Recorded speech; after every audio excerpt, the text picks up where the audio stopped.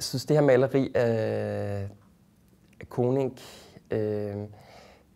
det ligner først sådan et maleri af det flade hollandske landskab, så det har jo så meget sådan mere den der nærhedsbetragtning. Øh, hvad er det for et land, jeg bor i? Øh, hvordan påvirker landskabet os måske som mennesker? Men det, som jeg især synes var sådan ret fint ved det her maleri, det er, at måske når man ser det på afstand, så, så virker det jo meget sådan som et klassisk landskab, men jeg synes, jo tættere man kommer på, desto mere opløser det sig og bliver sådan en eller anden form for forløber for noget modernisme, øh, hvordan man ligesom, hvordan han med penselstrøgene virkelig prøver at sådan, både præcis, men alligevel også sådan lidt som, som, som sådan en maler som Cézanne, og prøver at, at finde ind til noget,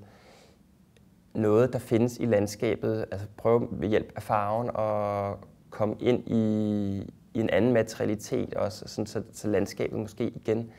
opløser sig og bliver til en form for maleri, sådan som vi også kender det fra øh, modernismen. Så jeg synes, det er meget sjovt også at se, hvordan der måske selvfølgelig mange forskellige steder i kunsthistorien er de her forløber for noget, vi så kender, og som vi så senere så som noget, der